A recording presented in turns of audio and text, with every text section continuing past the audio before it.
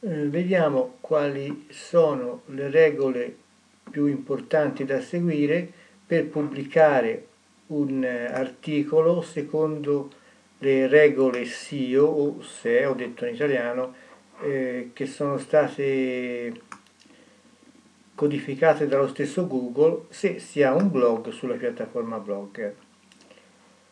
Dunque, per prima cosa bisogna essere sicuri di aver impostato le cosiddette preferenze di ricerca. Si va quindi su impostazioni, qua giù, impostazioni, preferenze di ricerca. Qui deve essere, la descrizione deve essere stata impostata, vale a dire si va su modifica, ecco, bisogna avere la flag sul sì, su abilitare le descrizioni della ricerca sì, e qui ci vuole una breve descrizione del blog. Ora questa è un blog di testo, ho messo una descrizione brevissima, bisognerebbe avere una, un massimo di 150 caratteri, adesso non, non, importa arrivare fino a 150, però un centinaio di caratteri per dare una, eh, una, eh, così, una definizione piuttosto esaustiva del, del, del tipo di, contenuti del blog eh, è opportuno. Quando si è fatto questa operazione e si sono, sono salvate le impostazioni, nel momento in cui si va su post, mettiamo e si pubblica una, un articolo, adesso qui c'è una bozza, qui sulla destra vedremo una nuova, una nuova opzione che si chiama descrizione della ricerca che vedremo come funziona successivamente. Dunque, il post è diciamo, eh, costituito da vari elementi. Il primo elemento molto importante è il titolo. Il secondo elemento è il corpo del post, a dire tutti i contenuti, contenuti eh, testuali. Il terzo elemento sono i contenuti media, soprattutto le immagini ma anche i video quarto aspetto sono i link. Il quinto aspetto è la descrizione della ricerca. Allora, cominciamo con il titolo. Il titolo deve essere innanzitutto un titolo che, visto che è quello che si vede quando si fanno delle ricerche su Google, bisogna che sia scritto in un italiano corretto, non si può scrivere magari una, una frase mettendo insieme delle, delle parole chiave senza, senza significato. Quindi in questo caso l'applicazione di Chromecast disponibile su Google Play anche in italiano potrebbe andare bene. Si potrebbe anche scrivere così Chromecast è ora disponibile su Google Play italiano, quindi eh, sarebbe ancora più, un po' più stringato. Qua, qual è eh, il senso del discorso? Che bisogna cercare di mettere sulla sinistra le parole chiave più importanti e inserire nel titolo più parole chiave possibili, senza chiaramente oltrepassare la lunghezza del titolo standard che dovrebbe essere di circa 70 eh, caratteri, 70-80 caratteri. Perché non bisogna passarla? Perché quando si va eh, a fare delle, delle ricerche il, il, titolo viene troncato dopo appunto quel numero di caratteri lì. Passiamo al corpo del post. Dunque la prima parte del, del post, chiamiamola incipit, come se fosse un, un romanzo, è, è particolarmente importante perché è quella che legge il navigatore nel momento in cui apre la pagina. Eh, se da, da, alcune statistiche si vede che circa il 60, 70 o anche l'80% dei, dei visitatori lasciano una pagina subito dopo pochi secondi che l'hanno aperta.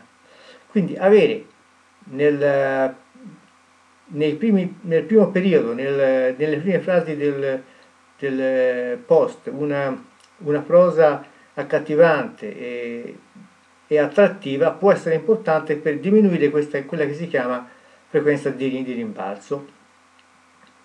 quindi bisogna cercare insomma, di, di impegnarsi per scrivere eh, qualcosa diciamo così che possa colpire il lettore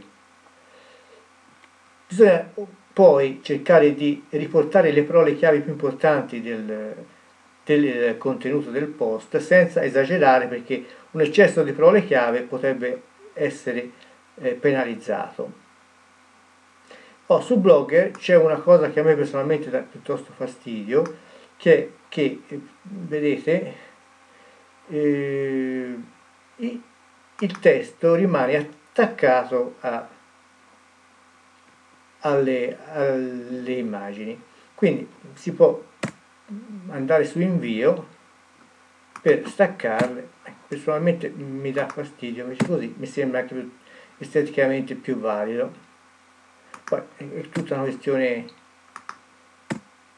cercare di dividere i periodi rende più semplice anche la lettura da parte dei visitatori.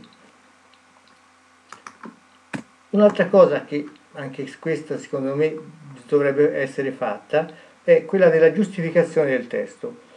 Se voi vedete in molti, in molti siti diciamo, si vede la parte destra del, del post è completamente, eh, diciamo così, fuori linea. Contrariamente a quello che avviene per esempio nella carta stampata, in cui invece tutto tutto il testo è, è, perfettamente allineato. Eh, ci vuole, basta un semplice clic, si va qui, seleziona tutto, si sceglie qui la giustificazione che è questo ultimo e automaticamente tutto il testo viene pareggiato sia sulla sinistra sia sulla destra. Altro capitolo importante sono le immagini. Dunque le immagini eh, è importante inserire in tutte le immagini il tag title e il tag alt oppure alt, fate un po' voi. Questo serve per questioni SEO, è particolarmente importante soprattutto il tag alt, detto anche alternative text oppure testo alternativo, che è quello che si vede quando il browser non riesce a aprire un'immagine. Si va, sì, sì, dunque, seleziona l'immagine, si va su proprietà e qui si mette in testo del titolo è quello che si vedrà nel tag title e nel testo alternativo è quello che si vedrà nel tag alt o alt diciamo si può mettere anche la stessa la stessa frase in questo caso ho messo Chromecast si può mettere Chromecast screenshot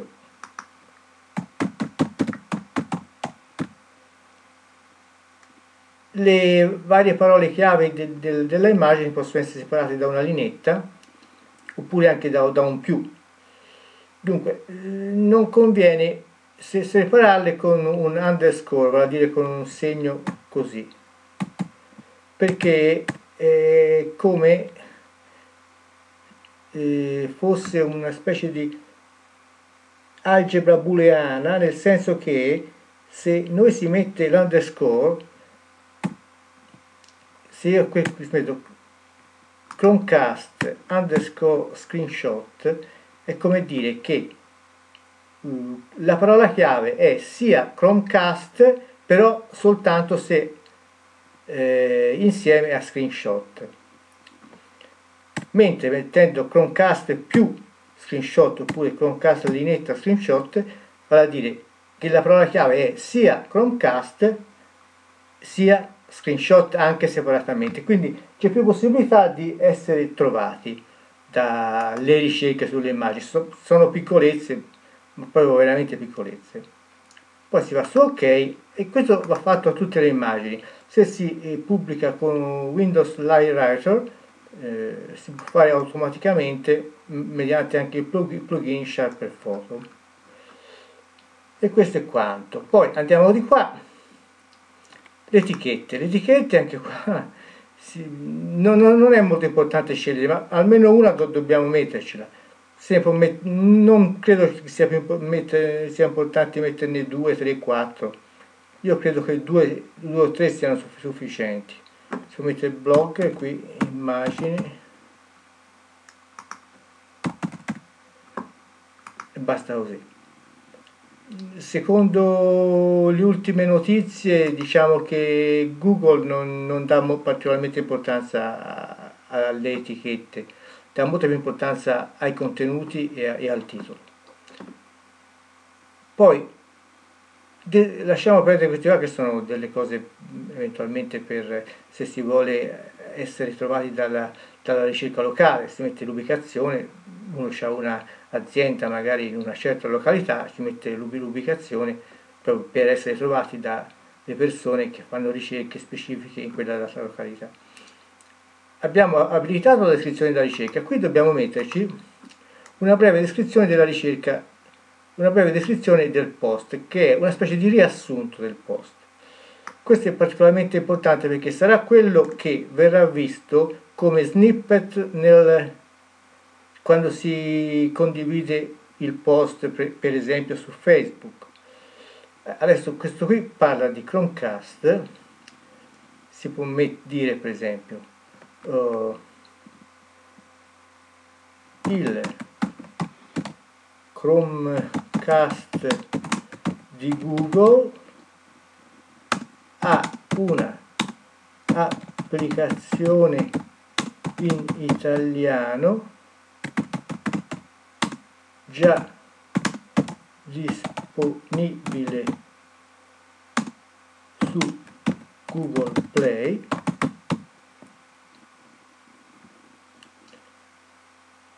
e si può naturalmente aggiungere anche altre, altre parole una cosa che mi sento di dover dire in questo caso non si può fare perché è molto difficile ma si può per, per esempio cercare di trovare dei sinonimi Adesso Chromecast non ha un sinonimo, ma se ci fosse stato un sinonimo di Chromecast si poteva mettere, visto che nel titolo c'è questo, qui si poteva mettere il suo, il suo sinonimo e così via. Quando si è completata la ricerca si fa completato e basta. Altra cosa fondamentale è il link. Si clicca sul link e si può fare il permalink automatico oppure personalizzato. In genere il permalink personalizzato eh, permette di mettere in ordine decrescente le parole chiave che noi riteniamo più interessanti. Eh, se noi non lo mettiamo personalizzato sarà Google sarà Blogger a creare il permalink, cioè la parte finale del link del, del post, mm, prendendo primi, le prime parole eh, separate da dei, da dei, trattini. Questo caso si può creare un, un permalink così, Chromecast, trattino, Google Play, trattino poi si può mettere Android visto che è su Android poi si può mettere anche streaming visto che è un, uno streaming video poi si può mettere wifi e magari si, può, si, può inserire, si possono inserire anche altre, beh, altre parole chiave si va sul completato a questo punto credo che diciamo, il confezionamento del post secondo le regole SEO sia già completato e non resta che pubblicarlo. Magari un'altra volta vedremo quello che fare dopo aver pubblicato il post per, diciamo così, per renderlo più attrattivo dai motori di ricerca.